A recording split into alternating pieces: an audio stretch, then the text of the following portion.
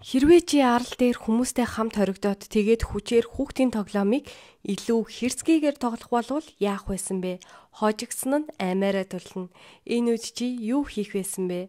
Хэрхэн үхлээс аврагдах вэ?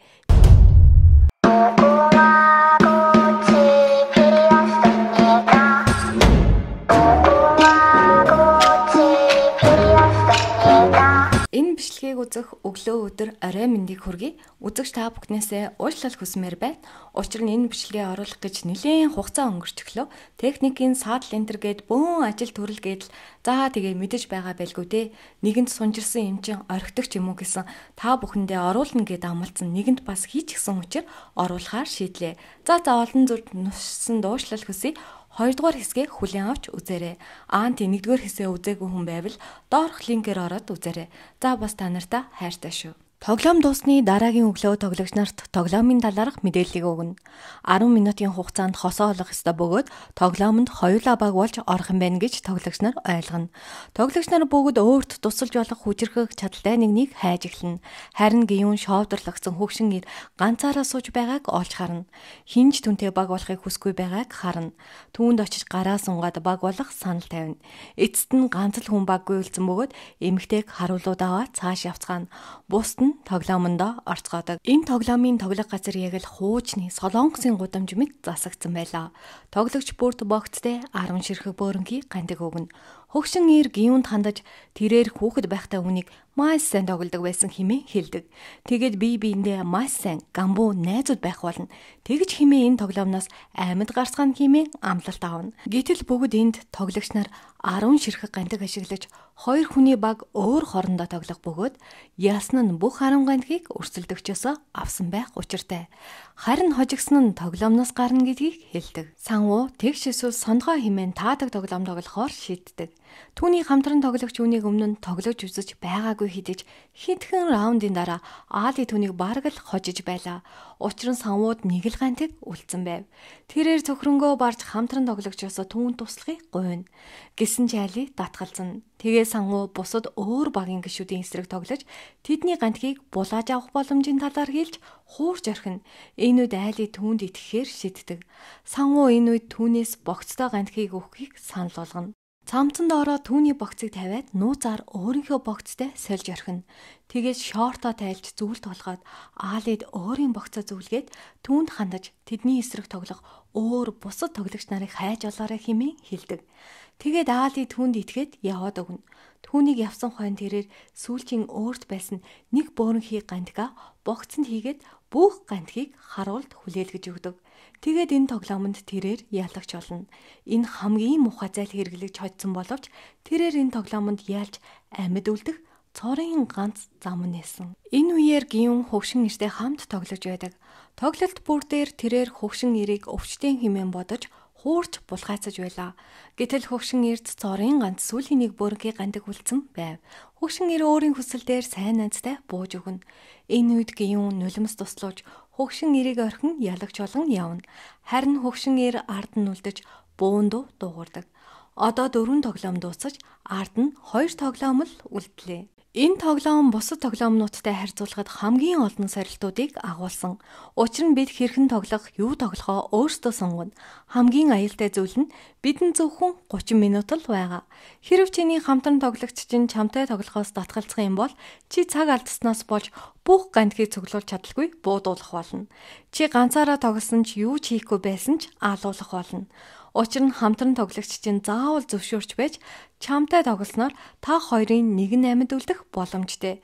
Гэхдээ энэ маш эрсдэлтэй. За тэгэхээр энэ залуус тэгш эсвэл сондгой гэдэг тоглоом тоглож байна. Энэ нь өрсөлдөгч чинь чиний гарт байгаа гандгийн тоо хэмжээг тэгш эсвэл сондгой эсгийг таах болно. Хэрв зөв таах юм бол гарчин байгаа гандиг түүнийх болно. Энэ тоглоомонд ялах нь цэвэр боломж дээр суурилдаг. Учир нь самуун шиг ухаалаг нэгэн хүртэл энэ тоглоомонд ямар ч стратеги ашигласан давуу тал олж авахгүй гэдгийг ухаардаг. Тоглоом сохор аз дээр суурилж буй энэ тохиолдолд өрсөлдөгч чинь ялалт байгуулна гэж бодож болох юм. Өрсөлдөгч чинь шийдвэр гаргахдаа удах тусам цаг өргөдөж чи тоглоомноос хуусагдаж ч болно. Хэрв энэ кейс тохиолдсон бол сангуу шиг бохир зайл хэрэглэж өрсөлдөгч тоглолтынхоо гандгийг хулгайлж болох юм. Энэхүү залийг хийхийн тулд бид өрсөлдөгч тоглогчоос богцыг нь эвтэйхнэр авах ёстой. Нэгэнд богцоо чамд өгсөн л бол түүнийг харуулд өгч ялалтын болцлыг хангасан гэдгээ мэдэгдэх ёстой. Энэ нь тоглоомын дүрмийг огт зөрчөөгүй бөгөөд энэ үед тань руу өрсөлдөгч тоглогч дайрсан ч уг тоглоомын гол дүрм ямар ч хүчирхийлэл байх ёсгүй. Иймд ямар ч л байсан өрсөлдөгч чинь хожигдолд хүрч байгаа юм. Ялагч нар бүгд өрөөндөө буцаж ирсгэн. Бүгд эмэгтэйг амьд байгааг хараад гайхширна. Тэрээр хэлэхдээ түнд өрсөлдөгч тоглогч олдоогүйгээс хойш энэ тоглоом буюу сорилтыг алгасхийг харуул зөвшөөрснийг хэлдэг. Үүнийг мэдсэн бусад тоглогч нарт тийм таатай байсангүй. Учир нь тэд аимшигтай тоглоомны ард гарсан шүү дээ. Дараагийн өглөө нь бүгд сэрэх үед харуулууд авас барьсан орж ирдэг. Гиюн инүүд шүн өөр нэгэн тоглогч энэ бүхнээс холдохыг хүсэж аймаа хорлсон болохыг ойлгоно. Тоглогч нар энэ үед тэр тоглогчийн ам мөнгөний гахаа дээр нэмэгдэж орж байгааг олж харна. Тав дахь тоглоом эхлэх цаг боллоо.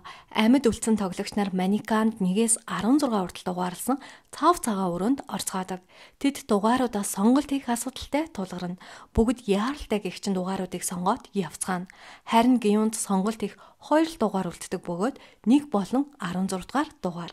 Тэрээр номер 1 хэдий хамгийн түрүүнд явах хэдий ч үүнийг сонгох гэж зогсож байтал өөр нэгэн тоглогчирч түүнээс нэг дугаарыг авахыг хүснэ.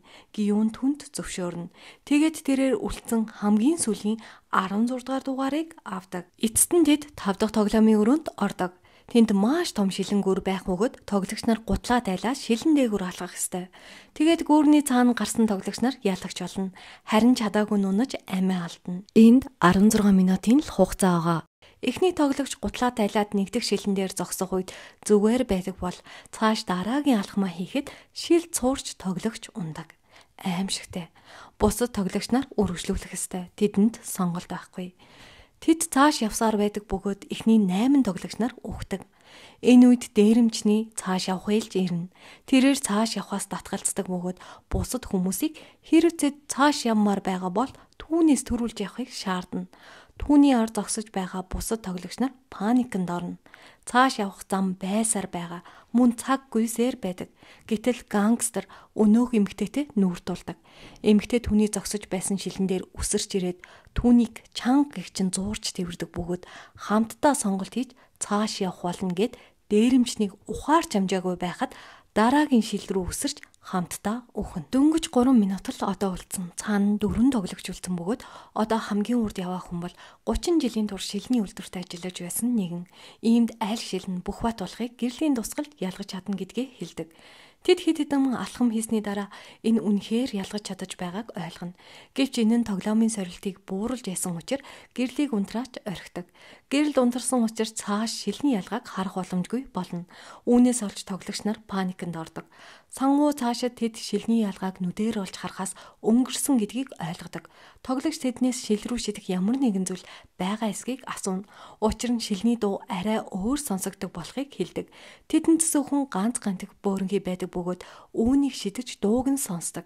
Гэхдээ дахиад байхгүй байсан учраас тэд сонголт хийхээс өөр аргагүйд хүрнэ. Цаашид 25 секунд ч хүрэхгүй хугацаа үлдсэн. Санхүү энэ үед яарчлах хэрэгтэйг ойлгож урагшлаад урдаа бисэн тоглогчийг дүлхэж орхино. Түүний араас үлдсэн тоглогч нар үсэрч эцсийн барианда цагтаа орно. Энэ үед ард байсан бүх шилнүүд агаарт дэлбэрч хагардаг. Шилний хилдэрхийнүүд амьд үлдсэн тоглогч нарыг зүсэж гимтэн. Одоо 5 тоглоом ард үлдсэн. Сүүлийн ганц л тоглоом үлдсэн. За тэгэхээр энэ хүү шилний үйлдвэрт ажиллаж байсан хүн бол байдас гэхэд болно. Учир нь тэрээр бүх 16 тоглогчийг аврах боломж түнд байсан. Гэвч тэрээр өөрийн амаа хамхиа тоглоомыг хөргөжлүүлэх нь өрсөлдөгч нарыг нэг нэгээр нарилгана гэдгийг мэдэж байсан учраас чимээгүй байхаар шийддэг. Түүний хийсэн ганц алдаа бол тэрээр өөрийн стратеги мэдлэгээ тоглоомонд мэдгдсэн. Үүнээс болж шуналтай нэг эрийн гарт амиа алдсан нь энэ. Энэ тоглоом бол бусад тоглоомтой харьцуулахад оог төвөр. Учир нь энэ тоглоом чадвар эсвэл хүч чадлыг сороогүй.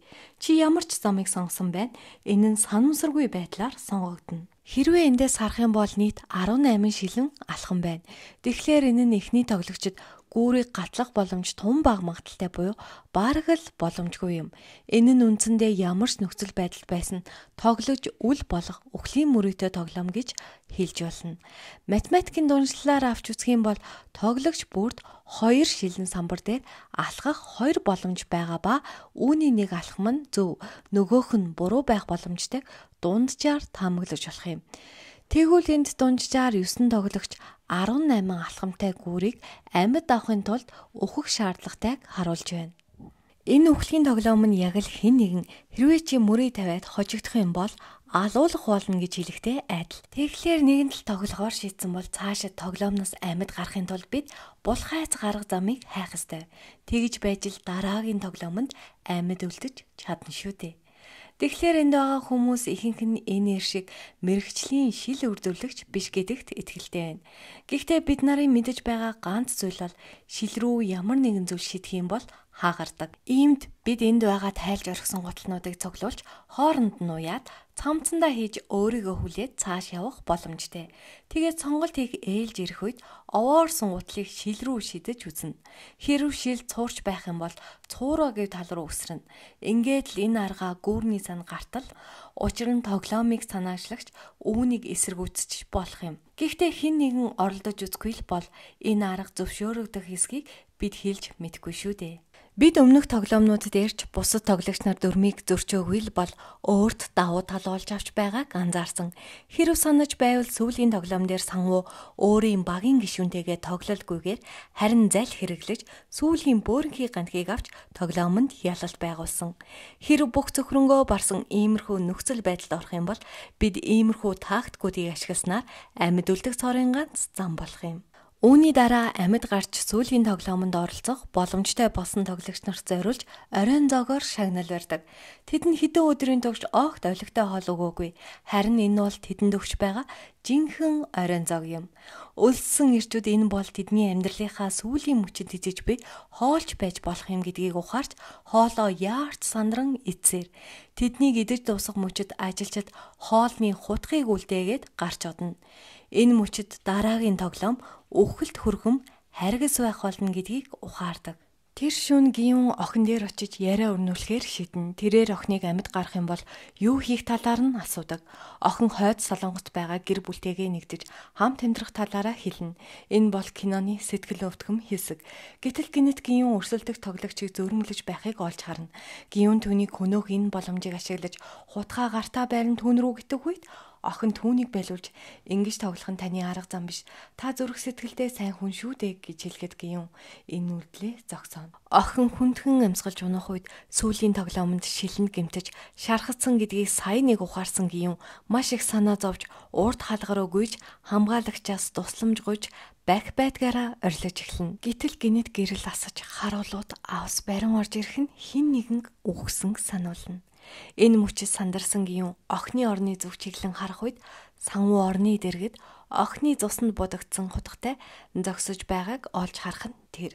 Бүх нөхцөл байдлыг ойлгосон гиюн уурсаж сангуу руу дайрах үед харуулууд гиюныг барьж авч газар сунгаан болиулна. Харин гиюн өш хонзондоо автан орилсоор одоо хоёрхан тоглогч сүүлийн ганц тоглоомонд ороход бэлэн боллоо. Сангу бол сүүлийн тоглоом хүртэл амьд үлдэж чадсан хамгийн хүйтэн зүрхтэй тоглогч. Иймд тэрээр гурван тоглогч үлдсэн энэ нөхцөл байдал хэрэг үлдсэн хоёр тоглогч түүний эсрэг нэгдэх юм бол түүнд маш том эрсдэл дүүснэ гэдгийг ойлгосон учраас охиныг хөнөөсөн хэрэг. Тэрээр тоглоомын төгсгөл хүртэл явж ирсэн Учир бууж өгөхөд дэндүү ариутсан. Мөн охин аль хэдийн маш хүнд гимтсэн байсан учраас дараагийн тоглоомонд ч оролцох хүч чадал үлдээгүй байсан.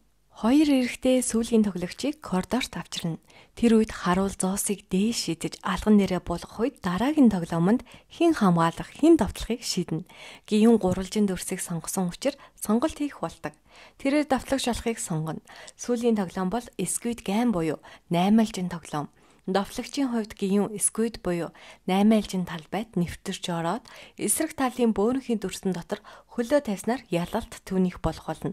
Харин хамгаалагч довтлагчийг талбайгаас гаргаж чадах юм бол ялагч болно. Гэхдээ ямар ч хүчирхийлэл энэ тоглоомонд зөвшөөрөгдсөн учраас хамгийн сүлд хөл дээр зогсож чадах тэр хүн л ялагч болох болно. Гинэтхэн тэнгэр мухаарч харанхуйлж хүчтэй бороо орж эхэлнэ. Хоёр тоглогч энэ үед өөр өөрсдийн байраа бол зогсон байгаа нь харагдана. Энэ мөчөд гиюн охины өшөөг түүнээс авахыг хүсэж байлаа. Гиюн багын найз руугаа гутга байран довтолж эхэлнэ. Харин санвуу түүнийг барьж авч чаддаг. Амьсгалын боох гэж оролдоно. Хоёр ир барьцалдаж гинэтгэн гиюны гуй руу гүн хутгалдаг. Тэрээр өрсөлдөгчөө дахин түүнийг хутгалгаас нь өмнө өөрөөсөө газар тундал нь өшөглөж холдуулж орхино. Гиюн шархацсан учраас арай л гэж өөрийгөө хамгаалж байлаа. Сангуу түн рүү дөхөж очиж түүнийг алах гэж оролдоно. Гэвч юм бууж өгсөнгүй. Харин сүүлийн секундэд түүний хутгийг барьж аваад шагаанаас нь хазаж түүнийг өөрөөсөө холдуулж орхино. Ядарч цувилсан гиюн багын найз руугаа мөлхөж очиод түүнийг зодож эхэлнэ. Сангууд харин энэ тулааныг цааш үргэлжлүүлэх ямар ч тэнхээ үлдээгүй байлаа. Гиюнд хэдий түүнийг алах сайхан боломж гарч ирсэн ч тэрээр багын найзаа амьд үлдээдэг. Тэгээд гиюн харуулаас тоглоомны гэрээний дүрмийг лавлаж асууна. Хэрэг үлдсэн хоёр тоглогч хоёулаа энэ тоглоомыг дуусгахыг зөвшөөрөх юм бол хоёулаа амьд ямар ч мөнгөгүй энэ тоглоомноос гарахыг хүснэ. Тэгээд найздаа гараа сунгаж хоёулаа хамтдаа гэртээ харьцгаа химэн хэлнэ. Гэтэл санхүү энэ үед амиа хорлож гиюныг тоглоомонд ялуулна. Одоо бүх 6 тоглоом дууссан. Ялагч асар их мөнгө хоцсон гэвч үүнтэй зэрэгцэн тэрээр багын сайн найзаа алдсан. За тэгэхээр санвуу тоглоомноос хүндэтгэлтэйгээр гардаг. Гэхдээ шударгаар хэлэхэд энэ залуу бол хэний ч хүсэмгүй хамгийн аимшигтай багын найз байсан гэж хэлэхэд болно. Энэ бүхнээс дүгнэж хэлэхэд тэрээр хоёр дахь тоглоомонд Гиюныг зоонтгны дүрс сонгоход хүргэсэн. Тэрээр энэ дүрснээс болж Гиюн үхэж ч магадгүй гэдгийг мэдсээр байд шүү дээ. Мөн тэрээр өөр багийн гишүүнийхээ бөөнхий гамтгийг хуурч мэхэлж авсан. Тэгэхээр энэ бүхнээс үсгийн бол санмуу шиг хүн өрсөлдөгч ч байх юм бол гиюн шиг сэтгэл хөдлөлтөө оог давтаж болохгүй.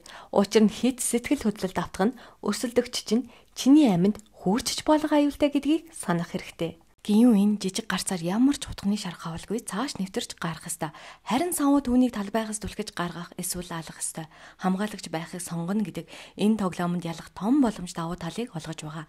Учир нь давтлагч жижигхэн гарцаар цааш ямар ч утганы гэмтэлгүй гарна гэдэг бараг л боломжгүй зүйл. Хэрэг би хамгаалагч байсан бол давтлагчийг эрхийг хүлээж төгсгөлийн бөөрхий дүрсний наан зогсох байсан. Довтлогч төхөх тэр үед магадгүй талбайн зураасны хажуу талд мөн ойртож байгаа учраас түүнийг түлхэж талбайгаас гаргах илүү хэлбэр болж байгаа юм. Энэ нөхцөл байдал хамгаалагч тоглоомонд ялж болох юм. Учир нь энэ нь өмнөх шиг тийм их хүч чадал авахалж самбаа огт шаардахгүй. Энэ нь гиюн буюу довтлогчийг сквид гаймд ялах магадлалыг бууруулж байгаа юм. Тоглоом үргэлжилж байх үед гиюн хит их өш хонзондоо автаж бүхэлдээ тоглоомны гол зорилгоо марчихсан байсан. Гиюнд талбайгаар гүжгээс бөөрөнхий дүрсээр очиж хөлөө тавьж ялагч болох хид хідэн боломж гарч ирсэн боловч тэр энэ бүхнийг огт хайхарлгүй сангуутай үргэлжлүүлэн зодтолсоор л байсан. Яг л эхний дагчи тоглоом дээр гардаг шиг тэрээр эцэст нь нэг юм ялалт байгуулах тэр үед өөрийн сэтгэл хөдлөлтөө хит автагдсан байгаа харагддаг. Тэрээр 100 мянган вооны төлөө тоглож байгаагаа мартаж залууг эргүүлж алгадах гэж оролддог. Энэ бол гиюн сэтгэл хөдлөлтөө хит автдаг нэг том дутагдал юм. Тоглоом дуусны дараа түүний гэрт нь буцааж авчирсан байх бөгөөд түүний ялалтын шагналд банкны карт орхисон байна. Гиюн картыг аваад ATM-д хийж үцтэл үхлийн бүх тоглоомд ялсны шагнал болгож ялалтын мөнгийг хийсэн байна. Эцэст нь Гиюнд өрөвдөлтэй аз жаргалгүй нэгэн болж хувирсан байна. Шагналын мөнгөнд оогт үрдэггүй. Түүнийг далайн хэрэг дээр сууж байх энэ үед нэгэн эмэгтэй ирж түүнээс цэцэг худалдаж авахыг санал болгоно. Гиюн эмэгтэй нэг сарна цэцгийг худалдаж авдаг цэцэгтэй хамт нэгэн дөгтөө байгааг олж харна. Гэтэл энэ бол Squid Game-ийн үндэслэгч хөгшин эрийн түүнтэй уулзахыг хүссэн бизнес карт байх нь тэр. Гиюн карт дээр хаяг байршлаар барилгад нэвтэрч очино. Нэг номерын хөгшин ир хөвтөж буйг хараад тэрээр шоконд ордог. Тэрээр ямар тааж амьд байх нь тэр түүнийг хэрхэн амьд үлдсэн талаар асууна. Хөгшин ир үхлийн тоглоомыг үүсгэн байгуулсан хэмээн хэлдэг бөгөөд ганцхан шалтгааны улмаас тоглоом нь тоглогч болон оролцсноо хүлээн зөвшөөрдөг. Энэ нь тэрээр дахин хүүхэд болсон гэдгийг мэдрэхийг хүссэн хэмээн тайлбарлана. Энэ мөчид гиюуны ой готож орхино. Харамсалтай нь дахин асуултанд хариулах боломж үгүй болсон хөгшин ир өөхөх нь тэр. Хэдэн өдрийн дараа гиюун өсний засалтаа өөрчилж охин руугаа явхаар нисэх бодол руу явах замдаа метрогоор өнгөрч байх тэр үед өнөөх залуу өөр нэгэн эрийг алгадаж байхыг олж харна. Энэ бол түнд хамгийн анх Squid Game-ийн бизнес картыг өгсөн ир мөн болохыг танина. Уур уцаартай өнөөх залуур өгөх тэр үед айл хэдийн эрэхтэй метрог орхин явна. Гиюн түүнтэй тоглож байсан ирдээр очиод гарт нь байгаа картыг булааж авах үед энэ бол Squid Game-ийн урлаг мөн болохыг ойлгодог. Энэ бүхний эцэст тэрээр онгоцон сулгүй карт дээрх дугаар руу заллахаар шийднэ.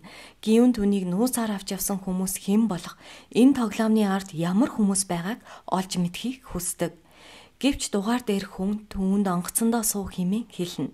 Энэ мөчид Гиюны уур нь хүрч тэрээр илүү олон хүн энэ тоглоомноос болж гэмтгээс өмнө Squid Game-ыг зогсоох ёстой хэмээн шийдэж нийцэг онгоцон суулгүй эргэж явдаг.